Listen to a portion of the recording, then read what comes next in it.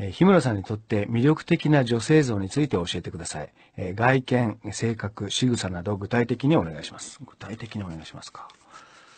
えー、俺にとって魅力的な女性。えー、これは、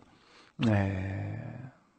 ー、やっぱ女の人は、え、見た目ももちろん、え、ある程度は大事なんでしょうが、やっぱりその心根のその優しさとかね、あの、女らしい、その、いたわりの気持ちを持ってる、その、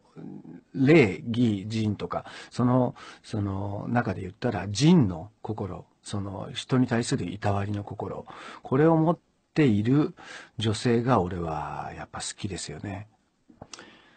で、まあ、あの、見た目的には、えー、俺が好きなタイプっていうのは、俺はね、あの、あいい、いい女でもさ、その男性系な人と、いわゆるあの、もう、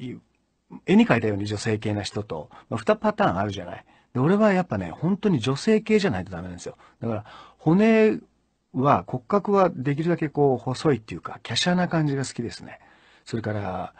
色白な人が好きだし、あまり背が大きくない方が好きですね。で、肌はやっぱり、あの、サメ肌よりは持ち肌の方がありがたいかなっていう。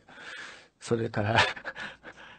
首はすごく細い人にグッときますね。あの、首がやっぱ細い、その、ちょっとこう、ポキッと折れちゃいそうなぐらいな、その首の細さにこうグッときたりしますね。あの、女優さんで言うと、えー、聞かれてないのに答えるのもなんなんですけど、大原玲子さんすごい好きでしたね。それから、うん、最近の女優さんでは、えっと、深田恭子さん好きですね。それから、まあそんな感じですか。えー、そんな感じです。